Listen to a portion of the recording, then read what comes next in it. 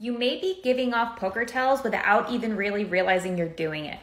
Reading people is such a big part of the poker game, and you really want to make sure that you're not giving your opponents any extra information that they could possibly use against you.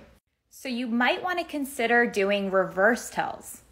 A reverse tell is when you're purposely giving off a poker tell to throw off your opponents.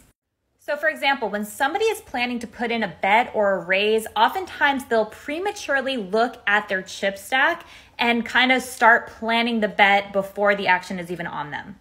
So, if you have a hand that you really want to just check back and hope it checks around to you so that you can check back and see a free next card, then what you can do is you can do the reverse tell by looking at your stack prematurely so that your opponents think that you're going to put out a bet, so they're more inclined to check it to you.